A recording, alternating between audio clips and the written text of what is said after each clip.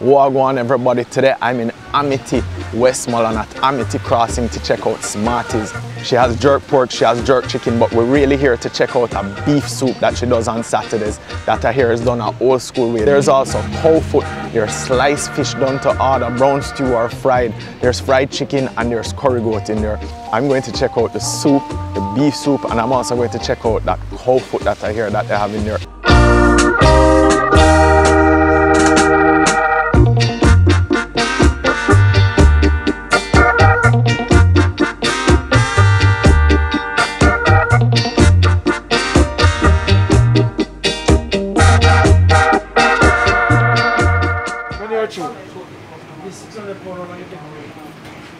In the kitchen and we're about to check out that pot of soup and it's a huge pot over there. And I tell you, just coming in here, there are aromas that are coming out of the kitchen is ridiculous. There's a grill right here roasting with some jerk chicken sitting in there and behind me is where they have this huge pot of beef soup. You familiar with the beef soup? Yes, sir. You go. Nice. So hold on, that pot was full earlier, It was actually right here. all the way up to the All top. the way to the top. And it, it finished now. Yes, it's finished now. That's how quick the beef soup got, but not even five o'clock yet. Because it's good. It It's good? Very good, yeah. Now we have to go check that out, but it looked very hearty, very nice. It looked like a Yeah, old school type of beef soup, like how my grandmother used to cook. Mm-hmm. And it tastes exactly as grandmother cooked. Yeah, it tastes like a, that a whole heap of expectation you give me, you know. True, man. No expectation, no disappointment, and you just turn up the thing, you know. No disappointment. You just turn up the thing. All right, out. You gonna eat one to then? You want the best soup? You can come to Smart Restaurant. One the best smooth. So where you say we have to come smart? Smart Restaurant. All right, smart. Smart is jerk. Smart is jerk. Thank you. And what's your name? My name is Nakisha. Nakisha. Thank you. You're welcome. I'll try some of that soup this soon. Birthday girl. Your birthday? It's my birthday. Bless up on the earth strong man. You don't know. Thank you. You're welcome. This is sweet and sour chicken. Wow, that looks good. I think I might have to try everything. Well, the cow foot is actually finished. Hold on, my cow foot finish? yes. My own finish? well, uh, probably you can get a small serve. I'll take a sample. What else? Every Anything curry that curry goat is done. It's done. You see, I told you from outside you have to come early. Things tend to go quickly. Very, very quick. And fried chicken is here. Yeah, man. That I go soak up some of the things that you serve outside. Yes. So you have stew pork as well.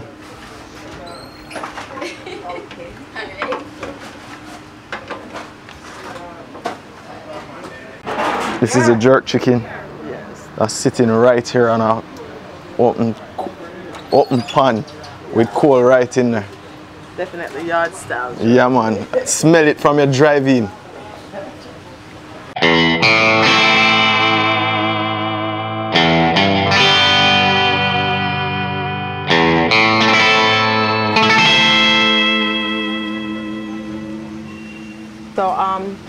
are located in Amity Crossroad, right at the crossroad. You can't miss it. Right across from Sergio's supermarket. Um, we've been established now for about eight years, and um, How we call to order if you do you do yeah, yes, we do. We do um, calling orders. The number is 955 5580. And your menu change day to day or is just Every day we have different menus. So I hear Saturday is a beef soup. I hear Sunday is another big day as well. Yes, Sunday is a big day. Saturday is the great beef soup that we're, you know, people come out like every day. If you don't come early, come you're not going to you're not going to get your beef soup. Yeah, the pot done already and it's yes, not even you, it's not late. Yes. It's, it's not even three, three o'clock for tell you the truth. Three thirty. well, yes. pot done. Yes, so um, we actually have different different dishes. We do from sweet and sour chicken, fried chicken, jerk chicken, jerk pork. We have cow foot and bean. We have cow mouth. We have oxtail. We Cow do a- mouth? Yes, we do cow mouth. Like come out. Yeah, but like. How you cook that? like with, with brown stew it. No, I'm gonna come back for that. You Never eat that definitely need to try it. It's a, Need it's a cow hot head? sell, yeah. Well, it's the head, you know, it's everything, but we just call it the cow Okay, mouth. all like, right, all right. Yes. but um, it's a very, it's lovely, and um, we do cow foot and bean, which is a hot seller. we have man, to try to have that, every that day. look like it step out Yes, that place like- already. Look like them Early from. 2 o'clock, cow foot is finished. This is the homemade jerk sauce. Yes, all natural spices are in it. That's the Smarties special jerk Smarty sauce. special jerk sauce. Uh, yes. Holy pepper and enough pepper. Well, we don't make it too pepper because not. So sometimes we have a mild one and we have a very pepper one. All right, so this one mild or this pepper? This one is is mild. This one is not. The You have the pepper, pepper one for me? No, the pepper pepper one is finished Everything. Let me tell you, you have to come out early. very early. All right. Thank you.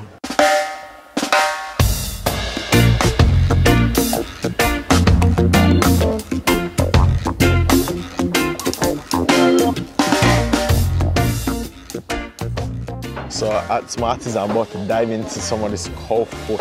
You can see the fat that comes off of it and the meat as well, the slight amount of meat that comes off of it, but it's so tender, so flavorful that I can't wait to dive into this. It looks really well cooked down, like it's been cooking for a while. And it's literally just falling off of the bone. Look at that, there's the bone, there's the separation, the cow foot. You know this part of the foot is, it's almost like a, a meat that's been left behind, but it has so much flavor, just like oxtail. And we enjoy it down here in Jamaica. You mix up some of that gravy with that rice and peas. Let's get into it. This is some of that sweet and sour chicken. This is part of the Asian culture that's in Jamaica. I mean, we love our Asian cuisine and we're out of many one people and this has been a huge part of our culture. So down here we're getting, and there's pineapples as well with that sweet and sour chicken.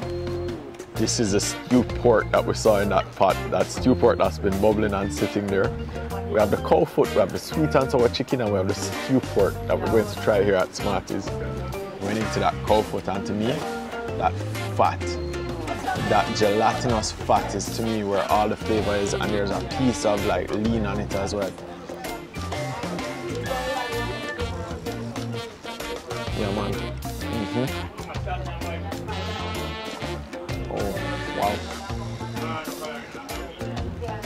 So juicy, so tender, so flavorful. The fat just gives you that bounce of gelatinous in it with that lean meat, and that meat has been soaked right through with flavor. The sauce or the gravy that is on it has been soaked right into that meat, like it's been sitting there just marinating for days, hours, whatever it took. But they really got it when they put that sauce on it. Oh my gosh, that gravy. I have to tell you about the gravy. So this gravy is the cow foot gravy right here. And the meat that is on it, the lean parts, the fat as well, like this piece, is full of flavor.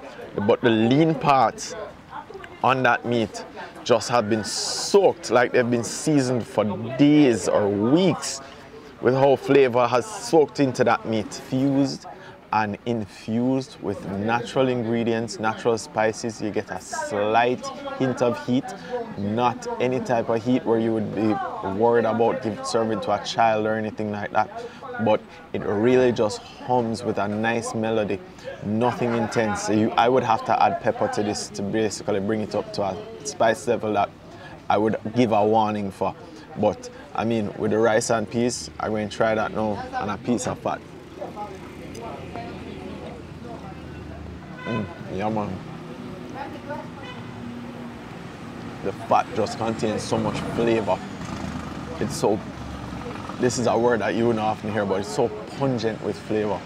It just really is pronounced and gives off that very nice flavor of what it was cooked in. Cow foot is something that takes a long time to cook. I mean, to have separation off of the bone like this, cow foot, it takes a good while for you to get this to be able to separate like that. It's a very gelatinous, very meaty, not meaty, but very gelatinous with a lot of fat and a lot of, a lot of fat and very small amounts of meat. But that meat and that fat is immense flavor. I'm gonna try that jerk pork. Oh, this isn't jerk pork actually, this is stew pork. Mm. Yeah man. Hooked on right as well. Yeah man, want the beef soup too. But the pork, wow, seasoned very well. I mean, the seasoning on it is right throughout every part of the meat. You're getting flavor right throughout. They're seasoning whatever they do to put into their stews or into the, the cow foot. It really is well seasoned, well soaked. There's a lot of flavor that comes off of it because like the cow foot are getting something very close to the bone. Anything and anything close to the bone is going to give you flavor. That bone once cooked down, and if you give it that slow process of just taking your time to cook it, that bone will give you immense flavor in any pot that you're stewing anything down in. And once you mix that up, you're getting a lot of natural flavors again. There's a lot of farms around this area as well, so you can imagine that they use a lot of fresh ingredients from the farms and basically giving you a lot of natural stuff in their stews. I mean, I can see some stuff that's coming off. You see some onions and some usual Jamaican seasoning, little onion, little scallion, little thyme, little garlic, of course scotch bonnet pepper. And once that cooks down, I use a natural flavor from the meat itself, from the bone, the fats, and even the lean to cook down in that pot. That flavor just soaks right through, hits it right to the bone, and it's pronounced right through. That's what we're looking for. And there's a lot of Jamaican flavor in this. This is the Chinese or the sweet and sour chicken. The difference with this though is that it has a bone in there. I just went to juke it with a fork and the bone just hit right there. But it's cooked down in a pineapple sweet and sour sauce and let's say we have a lot of Asian flavors, Asian infusion in food in Jamaica. Um, we have a huge Asian population which influences a whole heap of tastes and, and basically foods that we have. Dim sum on Sundays, I think in Jamaica, so is Chinese food on a whole scale. Mm. So tender. So tender. But different from a Chinese infused sweet and sour than you would expect. More Jamaican style sweet and sour. It has the, the sweet, it has a little bit of acid on it, maybe from vinegar or something that brings out that sour. And the pineapple is very pronounced because you can see the pineapple is soaked right through. But it's been fried and then cooked down. There's a batter on it that I'm tasting, and then it's been cooked down in that sauce after. Like you would have in some sweet and sour places where they basically give it a crisp batter, add some cornstarch to crisp it up. You're not getting a lot of crisp off of it, but you're getting a nice flavor from the sweet and sour, which is very, very Jamaican sweet and sour unique.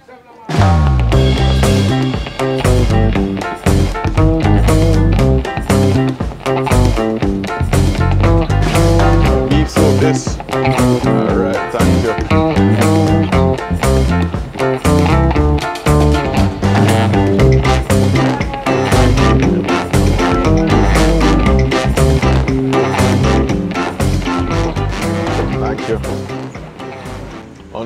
Undoubtedly, this is what they said was very good down here. The beef soup. Very hearty, very thick. I mean, we're lucky to even get any because it sells out so quickly, is what they say.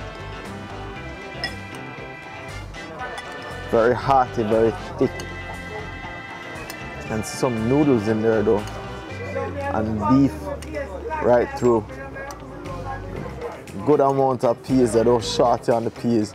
And food as well in there, some yam, some carrots, and some dumplings of course. So this is the beef soup. I mean, I'm a huge critic of beef soup because my grandmother had a small restaurant on the beach where she used to cook beef soup every Saturday and people would come in drones. So I know when beef soup is cooked on a Saturday and it sells out, once the pot is done, it's done.